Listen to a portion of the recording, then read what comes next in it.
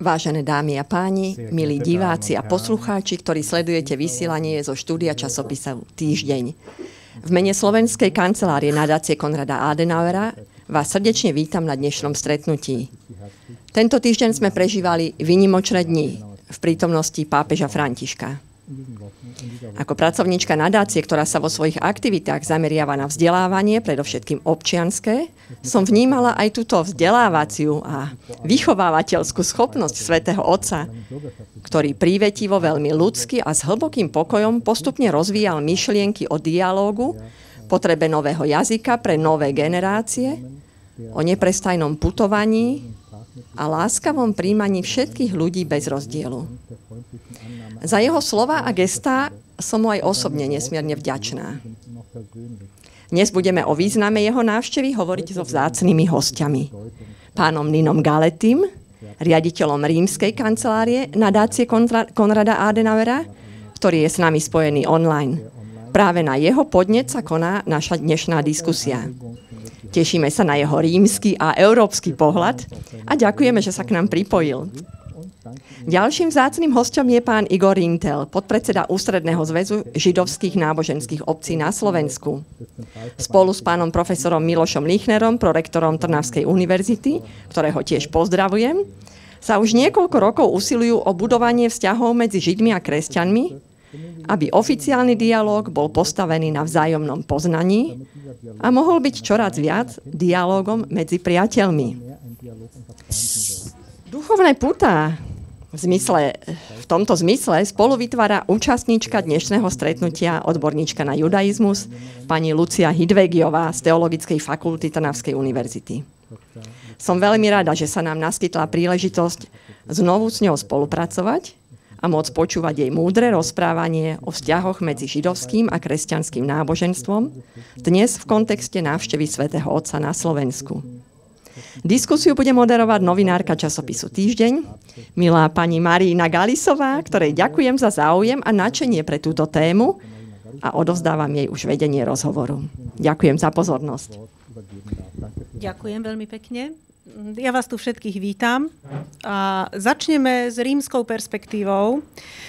Na začiatok rozhovoru, my sme tu na Slovensku prežívali dni s pápežom Františkom veľmi intenzívne. Prežívali sme ich e, nadšene, niektorí e, s určitými obávami, čo sa stane, ale väčšina ľudí e, naozaj intenzívne tým žila bez ohľadu na to, či sú veriaci dokonca. Aj moji neveriaci priatelia boli doslova niektorí až prikovaní k obrazovkám. Vyzeralo to ako z rímskej perspektívy? Slovenská návšteva pápeža Františka, ako sa vnímala v Ríme? Vnímal ju tam niekto? Pán Nino Galetti. Ja, auf jeden Fall. Zunächst, zunächst einmal Dobre Gen Roma. Ähm, na úvod eh, dovolte, aby som vás pozdravil z Ríma. Dobrý deň z Ríma a je mi veľkým potešením, že sa s vami dnes môžem rozprávať.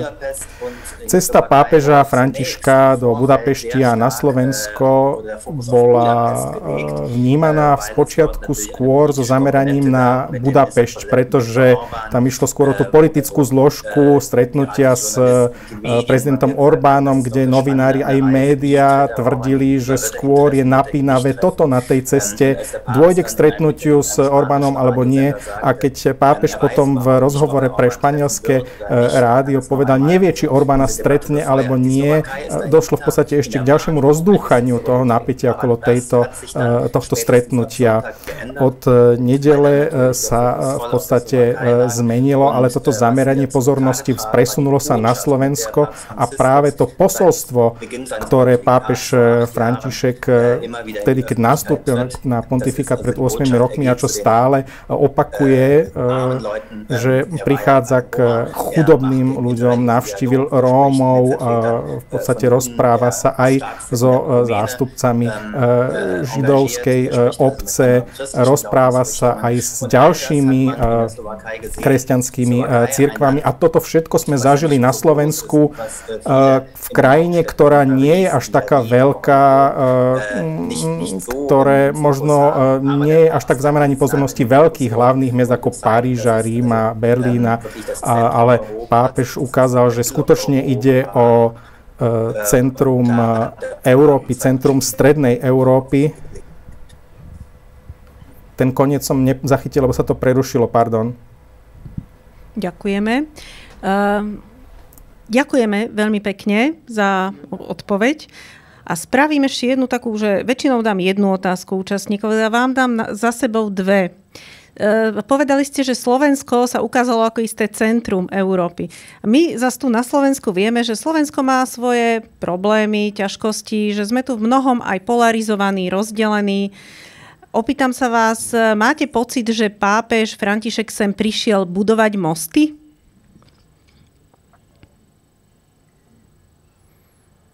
Auf jeden Fall. Určite. V každom prípade pápež František je staviteľ mostov a to, že si zvolil Slovensko za cieľ svojej cesty je skutočne veľmi zaujímavé. Ak smiem pripomenúť, tak pápež František je pápež z periférie, prichádza z Argentínie, to znamená, že je to krajina skutočne, ktorá je až na kraji uh, geografickej mapy a stanovil si cieľ, že nebude navštevovať veľké centra, ale skôr perifériu. A ak si pozrieme, aké krajiny, aké mesta v rámci Európy navštívil. Prirodzene navštívil Francúzsko, navštívil Švajčiarsko, ale e, nebola to v podstate e, návšteva v tomto zmysle, ale išlo skôr o návštevu v súvislosti s, e, so skutočnosťou, že v Ženeve je Svetová rada protestantských církví a to bol dôvod, prečo navštívil Švajčiarsko. A potom navštívil ale krajina, ktoré človek nezvažuje, keď sa hovorí o návšteve pápeža, navštívil Albánsko, ktoré má veľké podiely moslimského obyvateľstva, bol vo Švédsku. Švédsko, v Švédsku sú katolíci v menšine, je tam väčšina mm, protestantov. A potom navštívil ďalšiu skupinu krajinu, kde išlo o teologické ťažiska. Budapešť, Maďarsko. On v podstate nenavštívil Maďarsko, išiel na Eucharistický uh, svetový kongres. To isté platí pre Portugalsko, tam navštívil uh, to k tému Vyriočiu. Uh, dalo by sa povedať, že Slovensko je skutočne e, prvou krajinou, ktoré bolo cieľom pastoračnej, pastorálnej činnosti a môžeme si položiť otázku, prečo si vybral Slovensko. Pápež si stanovil za cieľ, že e, nenavštíví západ európsku ani juhoeurópsku krajinu, ale východoeurópsku krajinu a preto si zvolil. Nezvolil si e, Poľsko ani Maďarsko, ale menšie Slovensko. Je to signál, chcel stavať mostu, áno, chcel stavať mostu a chcel vyslať určitý signál. Ďakujem veľmi pekne. Prečo pápeži cestujú? To je taká zaujímavá otázka. My sme u nej už raz hovorili. Možno by sme to mohli trošku rozviesť, lebo teoreticky ten svätý Otec by mohol sedieť vo Vatikáne, vydávať svoje edikty a byť tam. Nebol by to, najmä dnes, s rozvojom technológií už ani toto by nebol problém. Ale prečo teda pápeži cestujú? Pán Lichner, nech sa páči. Tak historicky môžeme povedať, že celé to vlastne začína po druhom Vatikánskom koncile aj umožnením pravda, tých dopravných prostriedkov. Keď sa pozrieme na pápežské cesty do histórie, tak vidíme, že prvých 300 rokov pápeži, keď išli niekde na cesty, tak boli poslaní do vyhnanstva.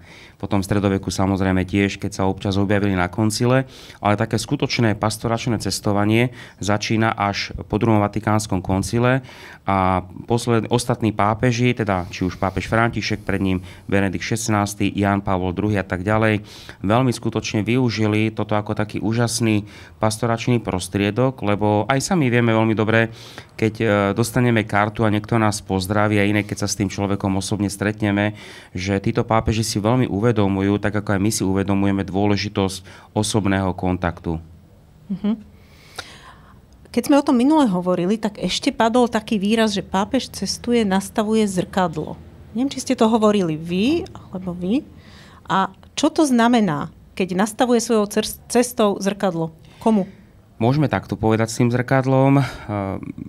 Pápež je teda zodpovedný, ako hovoríme aj v našej katolíckej teológii, je zodpovedný za hodnoverné odozdávanie celého Božieho slova, ktoré Kristus veril apoštolom, apoštoli nástupcom a tak ďalej, tá neprerušená línia toho odozdávania. A máme také zaujímavé, že toto sväté písmo sa v radnej latinčine cirkevných otcov nazývalo ako spekulum, ako zrkadlo. Uh-huh. A máme viacero takých homília od svätého Augustína, ktorí hovoria, že to, čo vám ja hovorím, to nie je, že cirkev hovorí, ale hovorí to Božie slovo. A pozrite sa do toho Božieho slova ako do zrkadla, či vaše správanie zodpovedá tomu, čo hovorí Božie slovo, ako by ste sa mali správať.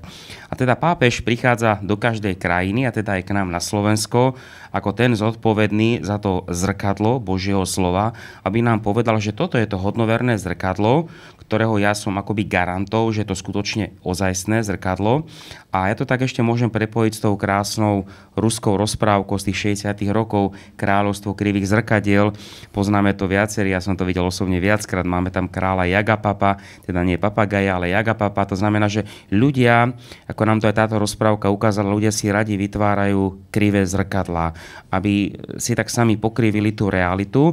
A práve aj úlohou svätého Otca je prísť do každej krajiny a povedať v každej krajine a teda aj nám, aké sú tie vaše krivé zrkadlá, ale nielen spoločnosti, aby sme nepoukazovali, že tí druhí majú, ale ja to tak vždy obratíme na seba, že aké ja mám krivé zrkadla, každý z nás ich máme a teda mám ich aj ja a preto aj tá návšteva Svetého Otca má takú veľkú hodnotu pre mňa, pretože aj mne to umožňuje, aby som sa pozrel cez jeho gestá, cez jeho slova do toho právého dobrého zrkadla, aby som na tom základe napravil aj niečo vo svojom mhm. živote. Mm-hmm.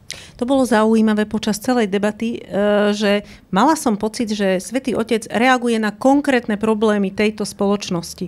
Mala som dojem, že je informovaný veľmi dobre o tom, čo sa tu deje a čo potrebujeme počuť. Nie čo chceme počuť, ale čo potrebujeme počuť. Nech sa páči, pani Hidvegiová, mali ste ten istý dojem, alebo to možno len bolo moje také vkladanie významov?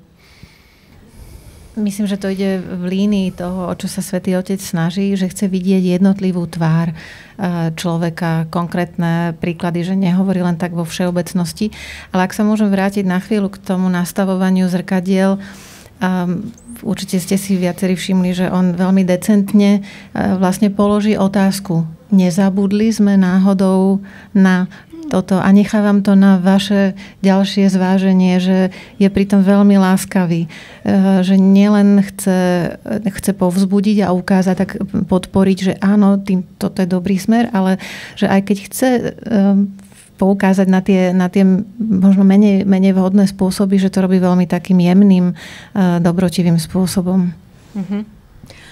Ja dúfam, že to aj pomáha, lebo niekedy mám pocit, že láskavé slovo vychovávateľa je veľmi dobrá vec, ale ako matka troch detí musím povedať, že vhodne, vo vhodnej chvíli zvýšený hlas je niekedy tiež celkom dobrá vec. Uh, v každom prípade pápež prišiel hovoriť viesť dialog, ale aj nás povzbudiť k dialogu. A ja mám dojem, že na Slovensku napríklad dialógy prebiehajú. Mnohé prebiehajú tak ako keby trošku formálne, veď vieme, že ich treba, tak si akože povieme, že ich vedieme. A potom, keď príde pápež a on nám povie, že robte niečo takto a takto, tak zistíme, že odrazu, že my to potrebujeme robiť hĺbšie nejako. A v tomto, z tejto súvislosti by som sa chcela obrátiť aj na pána Rintela, aj na vás, že ten stav toho židovsko-kresťanského dialogu na Slovensku je aký v realite? Podľa môjho názoru nebol nikdy lepší, ako je teraz. Ale treba povedať, že návšteva pápeža nebola ako iba samostatným krokom, aj to vrcholenie tej 10-ročnej činnosti, treba povedať, že asi 10 rokov dozadu, 7-8 rokov dozadu, medzi katolíkmi a židmi nebol prakticky žiadny dialog. Mm-hmm. Nechcem hovoriť na formálnych stretnutiach, na recepciách a podobne. Ten dialog nebol prakticky žiadny. Po toľkých rokoch komunizmu, fašizmu a tých skúsenostiach, ktoré mal židovská komunita, bol tam veľký odstup. Obrovský problém bol vždy v tom, že my si myslíme, že vy si myslíte predstavy židovskej komunity o tom, čo si myslia katolíci, boli často mimo reality a predstavy katolickej komunity alebo katolickej cirkvi o tom, čo si myslia o nich Židia, tiež bolo veľmi mimo predstavy. Sme pred desiatimi rokmi približne sa začali pokúšať tvoriť dialog. Tie prvé rozhovory boli veľmi formálne, veľmi neosobné, veľmi diplomatické. A postupne sme zistili, že môžeme sa baviť o viacerých veciach že sú tri okruhy tých otázok. Je jeden okruh, o ktorom sa baviť vôbec nemôžeme, ktoré sú základným princípy viery, či katolíckej alebo židovskej, lebo žiadna strana není na to, aby presvedčovala tú druhú o svojej pravde. Potom máme okruh otázok, čo je špeciálne napríklad história, história z obdobia holokaustu, kde síce hovoriť o tom môžeme, ale máme malú šancu, že by sme sa zhodli. A potom je veľký okruh otázok, ktorých sa zhodneme. A keď sme sa veľa bavili, zistili sme, že tá tretia skupina je suverene najväčšia. Áno? Čiže o mnoho väčšia ako tá ostatní, na ktorých sa nezhodneme. Aj ako tie dve dohromady? Uh, poviem to takto. My, uh, ako ja viem, že princíp... je to vážna téma, ale ono by bolo dobre počuť, že áno, že je väčšia ozaj. Ja som presvedčený, že je väčšia o tom. E, samozrejme záleží na tom, kto čo ako vníma. Ja osobne som presvedčený, že je podstatne väčšia. Mnohé princípy tej viery alebo princípy ja to poviem tak, páchania dobra sú rovnaké filozofie židom alebo kresťanom, židom alebo katolíkom. Možno tá forma toho, prepáčte, páchania dobra je iná. My napríklad viacej veríme, že dobro sa má spáchať nie, e, nie použitím zákonov, že dobro sa nedá vymáhať zákonom. Katolíci niekedy viacej majú, že všetko treba regulovať zákonom. My si myslíme, že dobro má vychádzať človeka vzťahy, keď sme sa spolu vyjadrovali s pánom arcibiskupom Zvolenským k nástupu fašistických strán, k mnohým veciam, tak sa zistilo, že nemáme od seba tak e, veľmi, veľmi ďaleko. A ja keď využijem e, hovoriť o knižke, ktorá je tu položená na stole, e, o žalmoch, že žalmy sú spoločným dedictvom aj kresťanov, aj židov, o tom netreba hovoriť. E, ja keď som bol pred rokmi v Škótsku a môj koniček, kde navštevujem chrámy rôzneho náboženstva, tak som prišiel do chrámu a videl som, že e, knižky, ktoré tam boli, vydalo aj 7, 8, 10 církví spoločne. Lebo spoločne sú také církvy, ktoré zrovna až tak dobre spolu nekomunikujú. A keď sme prišli na Slovensku, sme hovorili o tom, že predsa toto je možné aj u nás. A keď e, bola iniciatíva E, na škole, aby sa začal takéto knihy vydávať, tak hovoríme, dobré, ale to je naše spoločné dedičstvo a mali by sme takéto knihy vydávať spolu. Jednak tým ukazujeme, že spolu e, rovnako rozmýšľame, ale ukazujeme, že tá spolupráca môže byť. Samozrejme, po toľkých rokoch nespolupráce bolo veľmi veľa nedôvery, ale na obidvoch stranách, musím povedať. To není, že židovskej alebo katolíckej, na obidvoch stranách. Potom prišlo nejaké postupne nové a nové veci, no, sme začali konferencie, knížky a potom, čo bol veľký zlom, sme spolu cestovali do, do Jeruzalema, kde sme katolicko-židovsko-evangelická delegácia navštívili spolu sveté miesta aj židovské, aj kresťanské.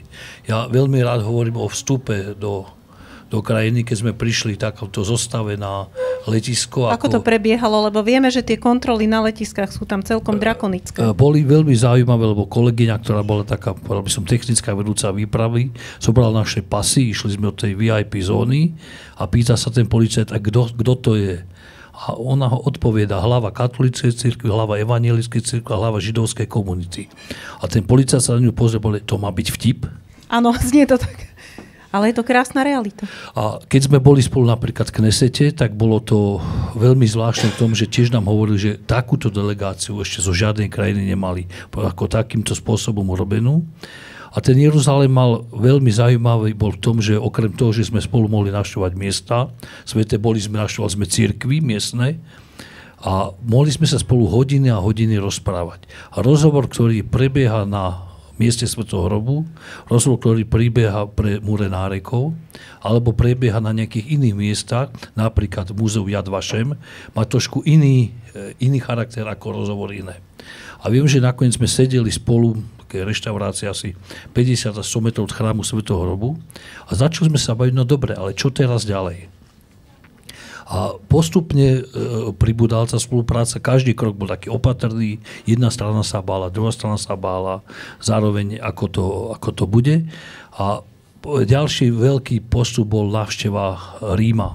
Navštívili sme Vatikán a treba povedať, tá návšteva bola spoločne zase delegácia, bola zvláštna v jednej veci. Tá nebola iba katolícka, ale prvý večer ako hostiteľ sme boli my Židia. My sme zobrali biskupov na miesta do židovského Ríma, do židovskej košte reštaurácie, ktorí napriek tomu, že tam dlho žili, napríklad kardinál Tomko, povedal, že tam v živote nebolo. Väčšina ľudí ani len nevie, že niečo také ako židovské miesta významné v Ríme sú. Áno, a napríklad kardinál Tomko, mám hovoriť, že prvýkrát v živote navštívil koše reštauráciu v Ríme. Uh-huh. Takže prvý večer s kardinálom Tomko a inými teda e, slovenskými biskupmi bol židovský.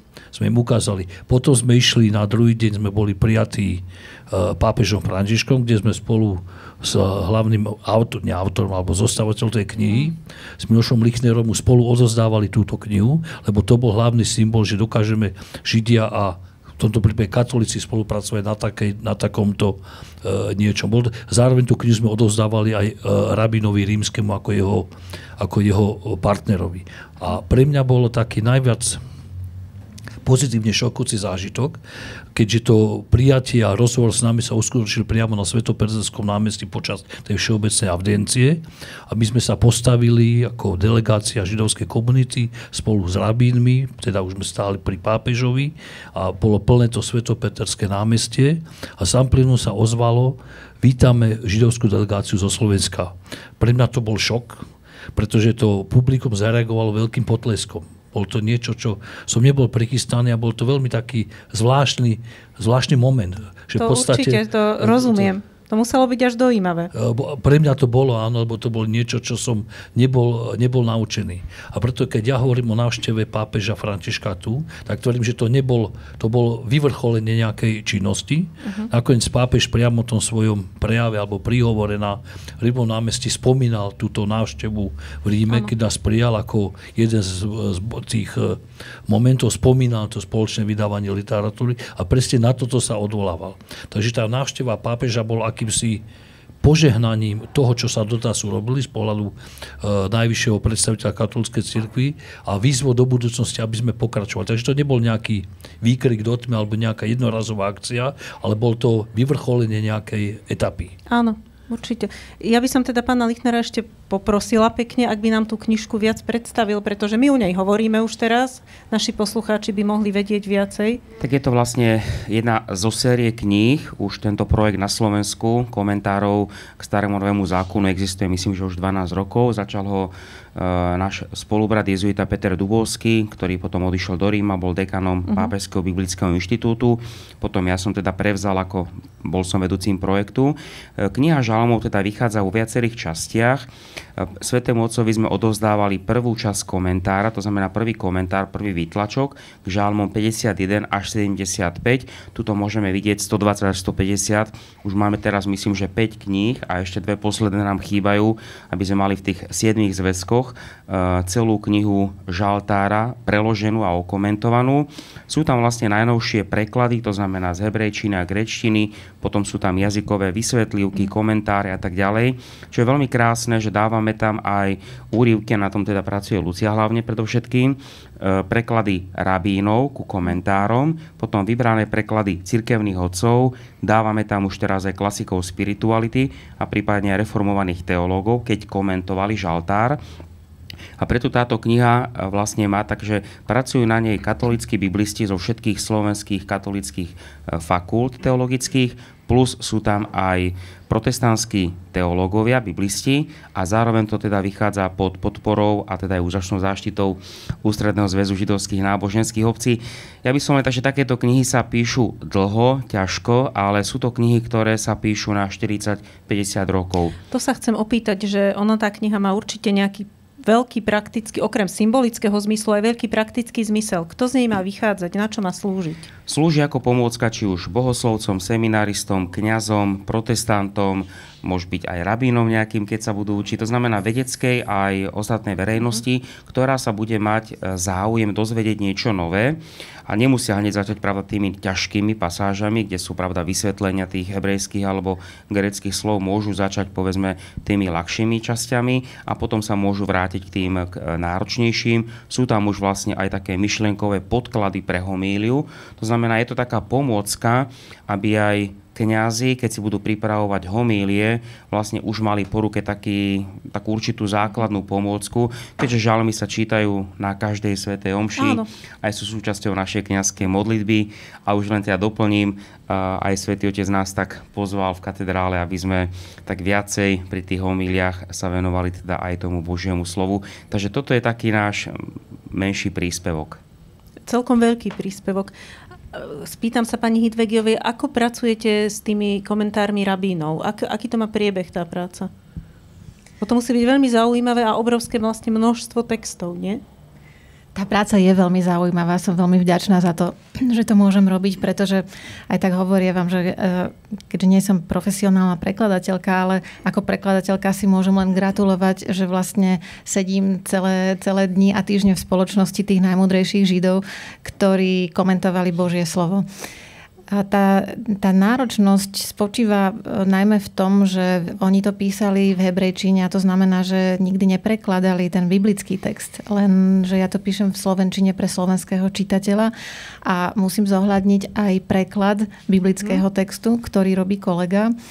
A teda nejakým spôsobom sa vžiť do, do, do toho myslenia rabínskeho, to nie je celkom jednoduché, lebo ja nemám za sebou e, tú výchovu a vzdelanie od, od malička, ale pokladám za fascinujúce a, a veľmi prínosné, verím, že aj pre, pre e, publikum, ktoré sa nevyhnutne nestotožňuje e, nejako s náboženskou tradíciou, ale aj z intelektuálneho hľadiska je to, je to veľmi taký bohatý text, pretože v priebehu 2000 rokov sa aj aj veľmi vyvíjal ten spôsob, akým, akým Židia vykladali sväté písmo a vyvíjal sa paralelne s tým kresťanským. A vlastne to, že je tam ten tradičný židovský komentár vedľa tradičného kresťanského, tak pozorný čitateľ, ktorý číta aj medzi riadkami, tak vidí, že aj cirkevní otcovia, aj tí, no, aj tí autority židovské, nevždy to boli rabíni, ale že, že vlastne vychádzajú z e, takých podobných východisk na rozdiel od tej súčasnej vedeckej interpretácie, kde už sa nedívame na to, že či ten um, biblista je, je žid alebo mhm. kresťan, kde tieto veci sa trochu stierajú, pretože musia vychádzať z jazyka, musia poznať históriu, pracovať e, nejakým spôsobom s textovou kritikou, ale aj potom ďalej s archeológiou a tak ďalej. Čiže myslím si, že, e, že, ten, e, že ten text reprezentuje aj to to staroveké obdobie, to prvé tisícročie, kedy dominuje ako žáner midraž.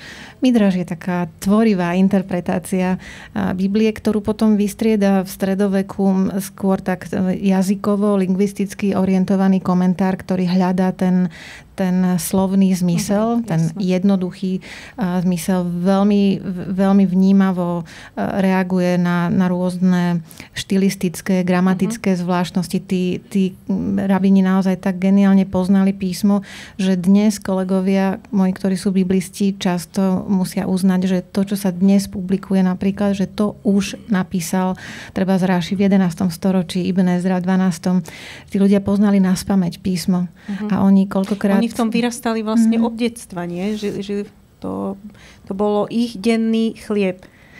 Určite, aj keď sa venovali popri tom každý aj inej činnosti, lebo to je pravidlo v judaizme, že človek sa nesmie živiť tým, že vysvetľuje Božie uh-huh. slovo. Popri tom Raši napríklad mal obchod s vínom, ktorý, ktorý prevádzkoval. A to, že poznali písmo na spameť, tak to je celkom iná vec, ako my, keď máme softvery na to, aby sme tam pracne hľadali, že čo s čím sa, sa podobá. Oni to vedeli mm. priamo z hlavy.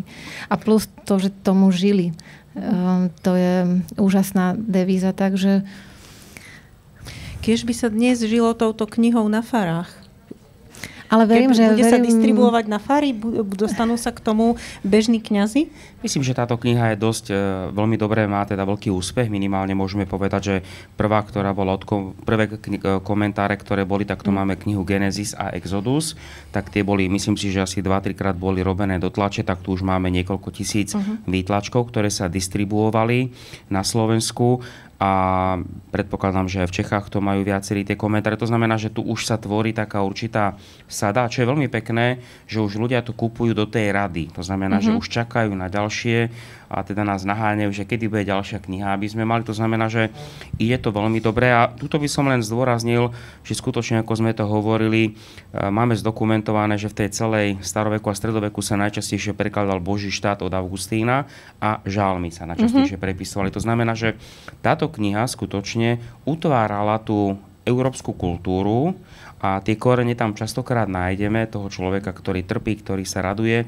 A čo je veľmi krásne, že toto je text, ktorý je tak blízky nám, katolíkom, ako aj povedzme kresťanom iných denominácií a je to predovšetkým teda aj text zásadný pre židovskú náboženskú obec. A pre nás, ako, alebo teda s biblistami, keď rozprávam, lebo teda ja pracujem e, v inej časti teológie, nejako biblista, že my sa veľmi snažíme, aby sme mali dobrý pôvodný text, aby sme čo najvernejší text mali tej pôvodine, o ktorý sa teda opiera aj e, židovská tradícia. Ja by som to využil na premostenie. Samozrejme, žalmy sú veľkým symbolom spolupráce. Myslím si, že históriu Slovenska, ale aj málo kde v historických šatov e, sa stalo, aby Židia a kresťania vydávali spolu náboženskú literatúru. To je veľký, veľmi výnimočný počin a myslím si, že to bolo aj v tom Vatikáne veľmi, veľmi ocenené. Ale my sme spolu vydali aj iné knihy, ktoré ja by som bol osobne rád, aby sa dostali na každú faru možno ešte viacej ako tieto žalmy. A to sú knihy, ktoré hovoria o materiáloch, ktoré sú oficiálne postoje Vatikánu k Židom, ale aj oficiálne postoje židovských autorít k Vatikánu.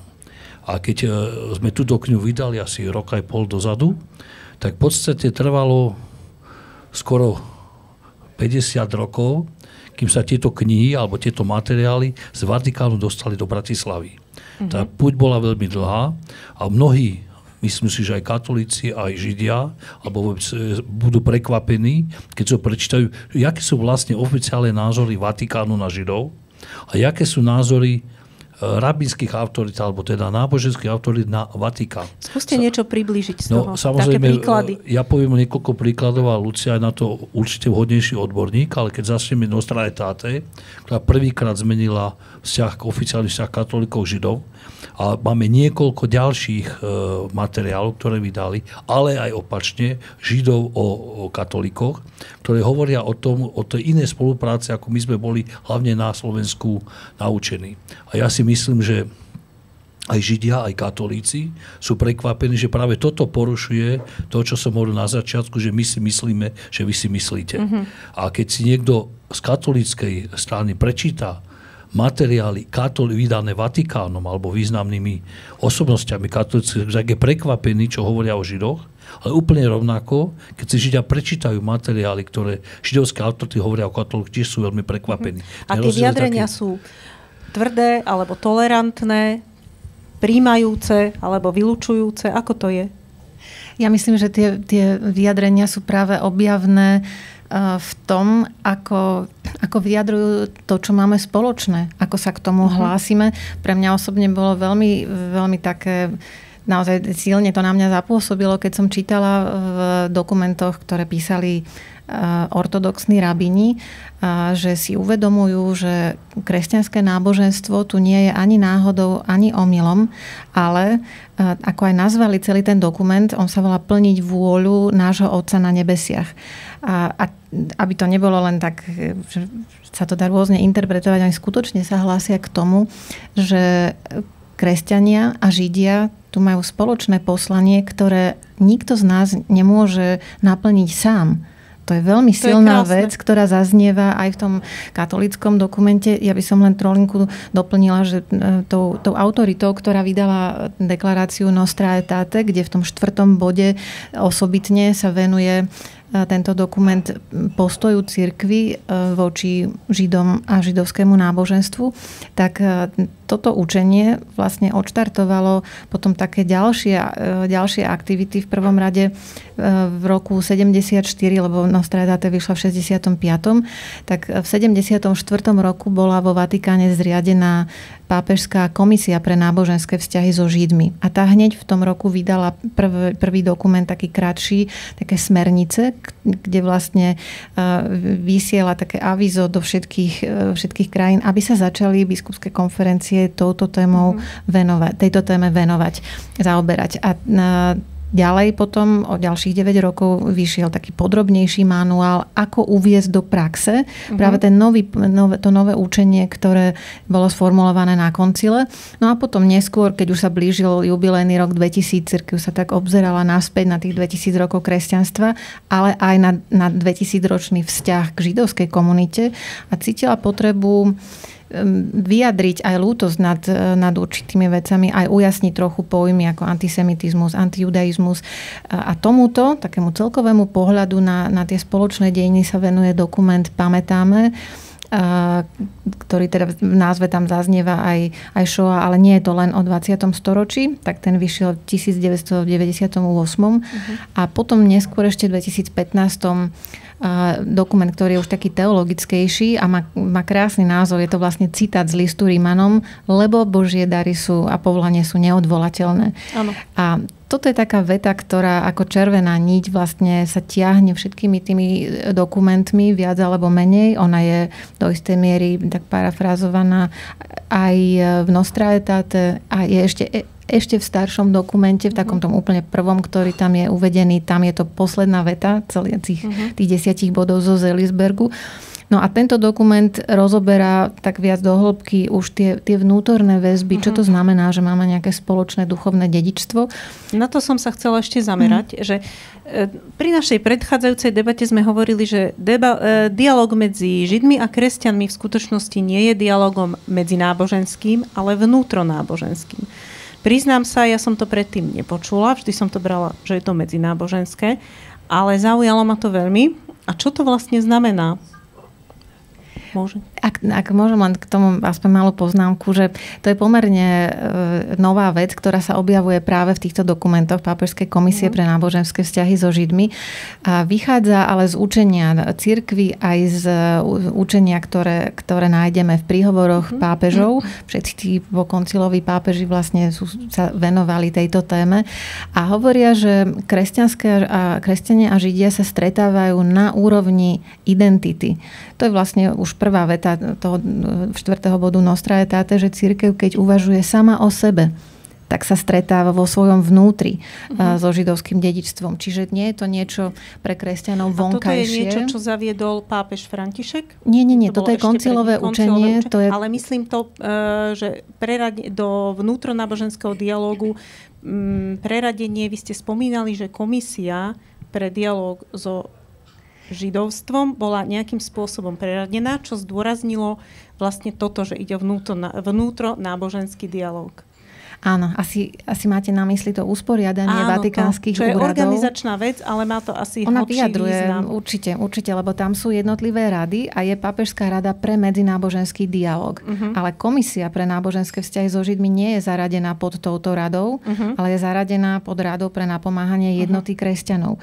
A ako to súvisí, pretože ak kresťania chcú budovať jednotu, tak musia vyrasta, vychádzať zo spoločných koreňov a korene kresťanstva sú jedine židovské. Uh-huh. To znamená, že takto si myslím, že lebo tá, tá komisia bola preradená pod túto radu s týmto odôvodnením, že my kresťania nemáme taký vzťah k judaizmu ako k ostatným náboženstvám, ale ten vzťah je veľmi mhm. jedinečný, keďže bez judaizmu by sme nemohli fungovať, nemohli by sme existovať, tak ako ano. strom, keď ho odnete od koreňov, tak neprežije. toto mimoriadne zdôrazňuje a takisto to zdôraznil na Slovensku.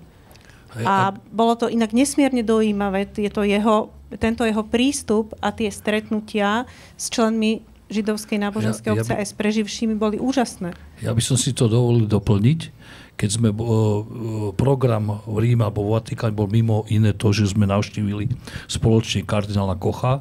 Kardinál Koch je ten, ktorý je zodpovedný za náboženský, náboženský dialog s inými kresťanskými denominátmi, ale aj so Židmi. To je to, čo hovorí Lucia, uh-huh. že to je ako jedna jeden úrad, ktorý má toto spoločné. Tam priamo na tom stretnutí sa dohodlo, dohodlo ako tá komisie, komisie spolupráce medzi e, Židmi a katolíkmi, ktoré v podstate kopiu, kopírujú tú štruktúru, ktorá je vo Vatikáne, čo sme robili na Slovensku. E, pánovi kardinálovi bol nadšený tými spoločnými aktivitami a navštívil dvakrát Slovensko krstiť tie knihy, čo naozaj není u neho mm-hmm. typické, lebo on tak chodí do Izraela tak, ale na Slovensku bol dvakrát kvôli tomuto, mm-hmm, relatívne krátkej, e, krátkej dobe. Takže to bolo, ak dovolte trošku netologicky, neteologicky, tak my keď hovoríme o vzťahu ku kresťanom, tak hovoríme, že kresťanstvo je cerská firma židovstva, ale že niektoré cery hold prečili svoje matky. Na toto sa dá povedať, že ďakujeme. Eh, vráťme sa k návšteve svätého Otca na Slovensku ešte. Eh, naozaj ma veľmi zaujalo ten jeho presah ku všetkým, ktorí potrebujú vidieť jeho tvár. A teda na jednej strane my sme sa, samozrejme, slovenskí katolíci sa tak sústreďovali, že čo hovorí nám, že čo hovorí našej hierarchii, čo hovorí našim kňazom. A ja som si potom uvedomila, ale on hovoril vlastne aj iným. On nehovoril iba katolíkom, on nehovoril iba kresťanom dokonca. On hovoril veľa vecí, ktoré sú úplne uplatniteľné pre každého, nemyslíte? Je to samozrejme uh, Svetý Otec, alebo vlastne keď sa pripravuje tá návšteva, tak uh, všetky tie gestá, prejavy, čo je na prvom mieste, čo je na druhom mieste, to všetko má svoj hlboký, tak diplomatický, ako aj taký filozoficko-teologický význam. Takisto aj prvé stretnutie, ktoré bolo na nunciatúre, kde sa svätý Otec stretol najskôr s predstaviteľmi ortodoxných a protestantských církví.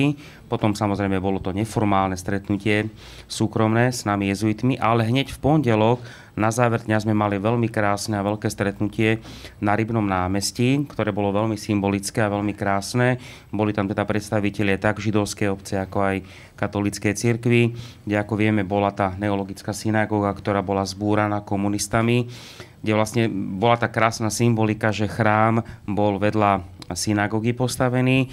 A takto to častokrát bolo, pretože aj keď sme e, chystali toto stretnutie, tak sme dali taký názov, že tradícia otvorená premýšľaniu. Uh-huh. A tu by som rád chcel zdôrazniť taký, taký bod, že keď Svetý Otec zdôrazňuje tieto myšlienky a keď aj bol na tom rybnom námestí, keď sa aj stretá s predstaviteľmi židovskej obce, takisto ako to robili aj predchádzajúci pápeži, tak e, dobre, áno, Nostra Aetate je zásadný dokument, ktorý to mení, ale keď sa vrátime do staroveku, tak tam nájdeme tie korene takého dialogu.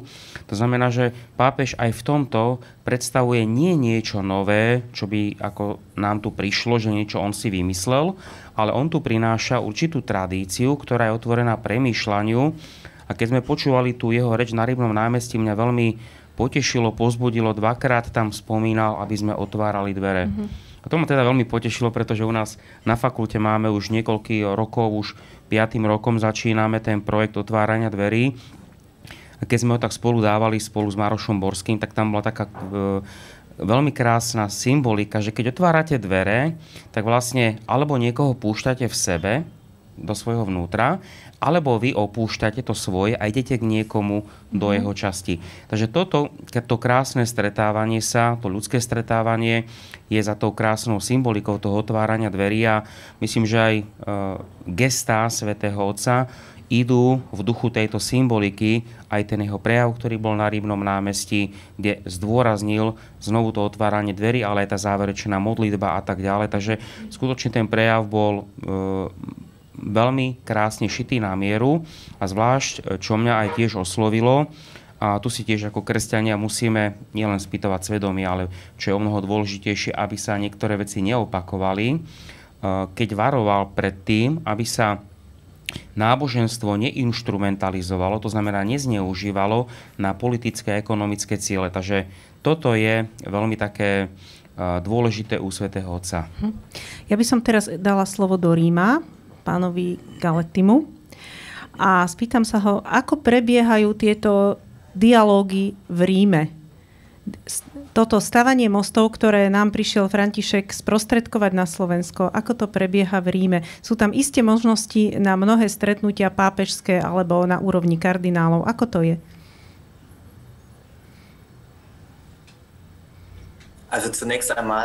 Na úvod äh, katolická církev má äh, výhodu v tom, že majú vlastný štát, to znamená Vatikán, ktorý je samozrejme veľmi malý, ak to človek si chce obísť, je to zhruba hodina, je to 400 hektárov, ale je to samostatný štát. E, počas koronakrízy to bolo vidieť, e, že Vatikán e, uplatňoval reštrikcie talianskej vlády, ale niektoré nepresadzovali. Napríklad Vatikánske múzea boli otvorené, napriek tomu, že múzea v Ríme boli zatvorené to znamená, že Vatikán má vlastnú štátnosť a samozrejme na svojom teritóriu môže robiť to, čo chce, čo je obrovskou výhodou, pretože Svetá stolica e, vystupuje ako medzinárodný aktér a pozýva rôzne konfliktné strany e, do Ríma, do Vatikána, kde s nimi vedie dialog. A Svetá stolica má veľmi dobré meno, je to určitá morálna autorita,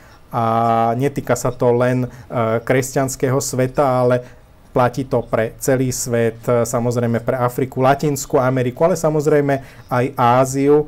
A samozrejme, že vidíme, že Vatikán pozýva medzinárodné delegácie, aby s nimi viedol uh, dialog a samozrejme tento dialog aj s katolickou uh, církvou.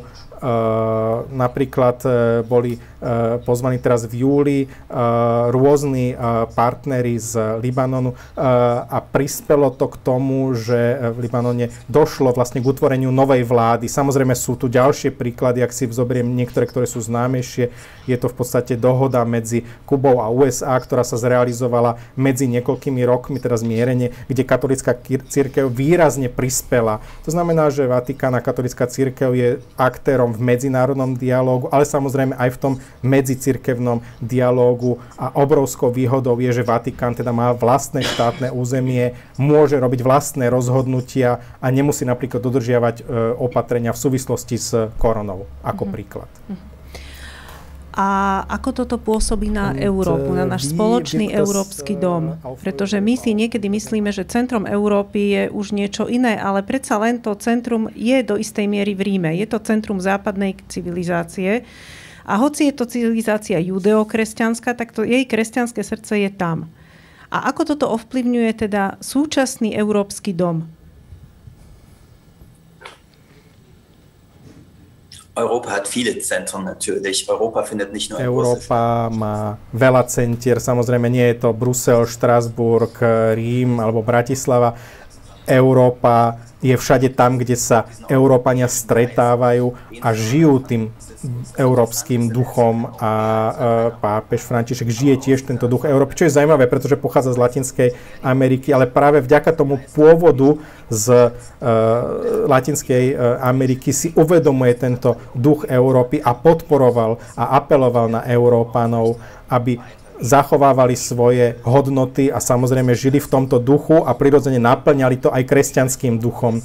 Európa, európske zjednotenie vzniklo na základe určitej kresťanskej myšlienky, išlo v podstate o otcov, zakladateľov Konrada Adenauera, Roberta Schumana, ktorý bol uh, francúza, alebo uh, ďalších zástupcov z Talianska. To všetko boli katolíci, ktorí vychádzali z európskej myšlienky, ktorí povedali, že Európania nesmú so sebou bojovať, musia spolupracovať a udržiavať túto spoluprácu a túto európsku myšlienku pápež František sústavne podporuje a cieľ, jedným z cieľov jeho ciest bolo to podporiť nielen v Budapešti, ale aj na Slovensku. Ďakujem veľmi Ak dovolíte, asi nemôžem odpustiť poznámku, že za centrum judeokresťanskej civilizácie považujem skôr Jeruzalem ako Vatikán. Vatikán je centrum katolického náboženstva, ale nie svetového kresťanstva. A všetky kresťanské denominácie považujú toto centrum, miesto vzniku Jeruzalema aj pre nás. Takže taká poznámka osobná, že Ale ja si myslím, že Jeruzalem. veľmi prípadná, áno. Ja, ja som to hovorila v súvislosti s tým, že máme rímsku perspektívu, čo je dobré. Ale samozrejme, Jeruzalém je nezastupiteľný. Pre viacero náboženstiev. Áno. Ja by som sa ešte na záver teda opýtala, že niekto hovoril, že prichádza k nám pápež, lebo my sme taká periféria, lebo on tak rád chodí na periférie. No neviem, či si niekto na Slovensku prípada ako periféria, lebo každý, samozrejme aj ten najmenší sám seba vníma, že nie je perifériou. Na druhej strane e, nebolo možné nevidieť, že pápež ide na ten lúnik, hej, ide k ľuďom, ktorých vníma majoritná spoločnosť naozaj ako videdencov, ako niekoho, koho by radšej ani nemala a nevidela. A on k ním ide a oslovuje ich. Čo nám tým všetkým hovorí? Tak najskôr môžeme trošku vysvetliť aj tú symboliku periférie, aby sme sa aj tak veľmi nebáli. Ja poviem tak, že ja bývam v starom meste tu v Bratislave a keď sa tadiaľ prechádzam, tak väčšinou e, vnímam e, to staré mesto z toho, že tam kráčam tými uličkami keď pôjdem na kraj Bratislavy, niekde na nejaký kopec a odtiaľ sa pozriem na staré mesto Bratislavu z tej periférie, tak zrazu to centrum uvidím inak. Uvidím ho krajšie a uvedomím si veci, ktoré som predtým nevidel. A môžeme povedať, že aj toto je takéto pápežovo pozeranie, ktorý nás tak pozýva, aby sme ako aj v múzeu, pravda, niekedy tak od, pod, pododstúpime od toho obrazu, uh-huh. aby sme dokázali vidieť celú tú krásu, tú hĺbku. Takže aj Svetý Otec nás, nás pozýva takýmto spôsobom, aby sme tak trošku pododstúpili aj v našich srdciach, aby sme uvideli tú celú šírku Božieho slova, pretože keď sme hovorili o tých krivých zrkadlách, tak niekedy sme aj my tak pokúšaní vybrať si z toho Božieho slova, čo nám vyhovuje a čo nám nevyhovuje, to tak zahladíme, skovame pod stôl, lebo nemáme na to čas, musíme sa len jednému venovať a tak ďalej. A Svetý Otec nám hovorí, aby sme išli na tú perifériu, pretože tam z toho okraja zrazu vidíme o mnoho viacej z toho Božieho mm-hmm. slova. A môžeme vidieť to, čo sme niekedy zabúdali, pozabúdali, čo sme nechceli vidieť. A takýmto spôsobom nám hovorí, že aj tie gestá, ktoré spravil, stretnutie povedzme na Rybnom námestí, stretnutie s oddelenými bratmi, keď sa zastavil povedzme so zamestnancami nášho exertičného domu, za tými pani kuchárkami, ktoré majú z toho skutočne životný zážitok, keď zrazu pracovali, dvere sa otvorili, vstúpil pápež, stretnutie s rómskou komunitou, to všetko patrí do tej celej šírky Božieho slova. Toto nám krásne týmto chcel gestom povedať. Takže to slovo periféria môžeme vnímať, myslím si, aj takýmto pozitívnym významom. Mm-hmm. Áno, ja som tiež mala dojem, že on hovorí, že tých, čo považujete za nedôležitých, tí sú dôležití. A mnohokrát e, mám pocit, že sa tým previnujeme mnohí. Možno, že v rýchlosti, možno, že je to len také akože normálne ľudské pozabúdanie, ale pápež nám prichádza povedať, že pozrite sa aj tam, aj tam a nájdete tam tých, ktorí sú hodní vašej pozornosti. Mňa osobne, e, napríklad tá návšteva na Úniku, mňa to dosť zasiahlo, lebo ja som tam osobne nikdy nebola a ja ani na východ Slovenska až tak často žiaľ nezájdem.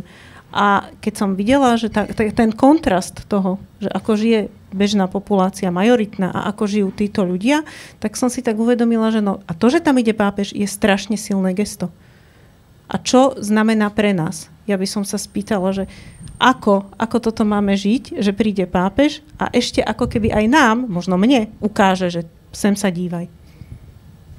Zjednodušené komentáre vyvolávajú také zvláštne pocity. Keď hovoríte, že pápež navštívil videncov, my sa za to nepovažujeme. Takže ja viem, že to je, není myslené na židovskú komunitu. Mm, to som nemyslela, ja mnoho, som myslela, to som hovorila, spoločnosť ale, považuje Rómov ja viem, za videdencov, žiaľ mnoho zjednodušení tej cesty je takto. Druhá vec, z nášho pohľadu, pápež nemal mm. pastoračnú cestu, lebo to je samozrejme kresťanský, kresťanský pohľad, pretože on není pastoračnou postavou, neviem, či to správne hovorím. Uh-huh.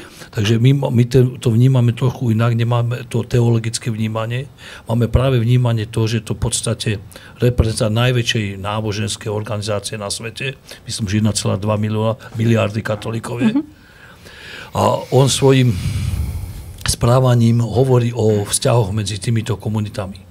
Ale nie je to pre nás pastoračná návšteva, samozrejme, lebo to, je, to není, my ho nevnímame ako náboženskú Jasné. autoritu pre nás, samozrejme, to je niečo úplne iné, ale e, vníma ako veľkú morálnu autoritu a človeka, ktorý má obrovský vplyv, nie cez malý štát Vatikán, lebo to je skôr taký symbolický, ale cez svoju vlastnú osobnosť. A keďže som mal možnosť, alebo mali sme možnosť stretnúť viacerých pápežov, tak vieme, po, vieme pocítiť tú jeho charizmu, ktorá keď niečo hovorí, nie nám, ale hovorí mm-hmm. tej majorite, tak je to obrovský vplyv na to, ako je vzťah majority k nám. Takže my to vnímame nie ako pastoráciu, ale ako človeka, ktorý svojou obrovskou morálnou autoritou, alebo keď chcete obrovskou charizmou, vplýva na najväčšie náboženstvo na svete, alebo aj na Slovensku na majoritu, ktorá, vo vzťahu k nám ako židovskej relatívne veľmi malej skupine.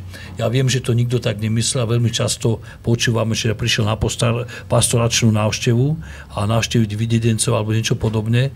Čo, keďže my sme potom tam nejak divne zostali, tak len sa hlásime, že nepovažujeme sa ani za jednu To si myslím, že nikto. nikto. Uh, slovami videdencov, ak som to, Je, použila, to tak som uh, naozaj myslela sociálne vylúčené skupiny obyvateľov, ktorí sú u nás rasovo väčšinou Rómovia, ale ani nie dokonca všetci. Takže o to išlo. No, samozrejme, že židovstvo je v srdci, nie v periférii, ale vzťah na Slovensku e, k vašej komunite nie je vždy ideálny. Ja sa chcem spýtať, či to má aspoň Máte pocit, že rôzni pápeži, ktorí sa v tomto angažovali, keďže ste ich aj mali možnosť stretnúť, že to zanechalo pozitívnu stopu aj v bežnom živote u nás? Ja si myslím, že bežní že to... katolíci menia svoje názory? Tak bude čas, ktorý nikdy nezmení názory a pokiaľ im poviete názor, ktorý im nevyhovuje, tak to človeka majú za meneceno, niekto za nepravého pápeža, neviem, čo všetko sme e, počuli, lebo majú pocit, že keď oni sú katolíci a majú povedzme antisemitické názory alebo nejaké rasistické, že pápež je v úvodzovkách povinný podľať ich názory. A sú veľmi prekvapení, keď najvyšší predstaviteľ tejto církvy tieto názory nepotvrdí, tak ho majú za falošného pápeža, neviem, čo všetko si občas prečíta, e, prečítame, ale ten vplyv tej katolíckej církvy a vplyv pápeža je obrovský. Samozrejme, keď zoberiem tých posledných pápežov, ktorých sme zažili a zoberiem Jana Pavla II., ktorý bol podobná charizmatická postava, bol to prvý pápež, ktorý nás e, ako osviečím navštívil a e, Benedikt, ktorý skôr bol teda intelektuál a nevenoval sa takýmto veciam a paradoxne vydal nejaké úvaj publikácie, s ktorým Židia nie úplne súhlasili, teória náhrady, teda teológia náhrady a podobne, ale je to obrovský, obrovský vplyv. Ale to, čo treba povedať, že aj keď je pápež veľmi dôležitý, tak podstatný je vzťah nie pápež, ale podstatný je vzťah Slovákov alebo slovenských katolíkov. Pretože ten antisemitizmus není vo Vatikáne, my nežijeme, ale žijeme na Slovensku. Takže ten pápež je požehnaním cesty alebo ukazovaním cesty, ale neurobi to on. Tu zmenu myslenia alebo to rozmýšľanie je dôležité, čo je na Slovensku. Lebo nestačí rozmýšľanie pápeža, že by sa nejak automaticky prenieslo na tých katolíkov, ale je to silný impuls. A to myslenie sa musí meniť na Slovensku. A ja verím na to, že sa postupne mení a verím dokonca tomu, že posledných pár rokov sú také vzťahy medzi katolíkmi a židmi, aké sme tu nemali 10 ročia, 10 ročia. To neznamená, že každý katolík a každý žid si toto myslí. Uh-huh. Ale verím tomu, že ako katolické obyvateľstvo, ako väčšina sa toto mení. Častokrát počujeme napríklad nejaké povedzme priamo antisemitické vyjadrenia nejakých jednotlivých kňazov. Samozrejme, také sme mali. Ale ja to vždycky hovorím, dobre, každý má právo na svoj názor, ani katolíci, ani židia nie sú jednoliatá masa, ale budem brať do úvahy nie vyhlásenia jednotlivcov, ale budem brať do úvahy vyhlásenia oficiálnych autorít. Či už je to ako pápež, ako na uh-huh. svetovej úrovni, ale pre mňa je veľmi, veľmi dôležité stanovisko KBS ako konferencie biskupov, ako najvyššieho orgánu a budem brať ako názor katolíckej cirkvi to, čo mi povie KBS, pocitálny Vatikán a nebudem brať ako názor, čo mi povedia jednotliví farári, lebo tam sa môžeme niekedy veľmi, veľmi nezhodnúť ale tam je žiaľ ten problém, že tí jednotliví farári môžu mať, jednotliví kňazi môžu mať veľký vplyv na svoju farnosť napríklad. A vy, ako, e, vy ste vlastne formátor nových kňazov, ako prorektor. Ako toto vnímate? Povedal by som takto. Uh, Svetý Otec, keď prišiel na Slovensku a keď sme začali našu debatu a sme hovorili o tom zrkadle, tak nám vlastne pripomína, lebo prišiel teda ako v dvojitej úlohe. Prišiel ako najvyšší predstaviteľ katolíckej cirkvi, teda pre nás katolíkov je to tá pastoračná návšteva, ale keďže je zároveň aj hlav, hlavou Mestského štátu Vatikán, tak bol prijatý na tej najvyššej úrovni, čo zase umožňuje aj to stretnutie s nekatolíkmi, povedzme so židovskou obcov a tak ďalej. To znamená, že tu máme takéto dvojité.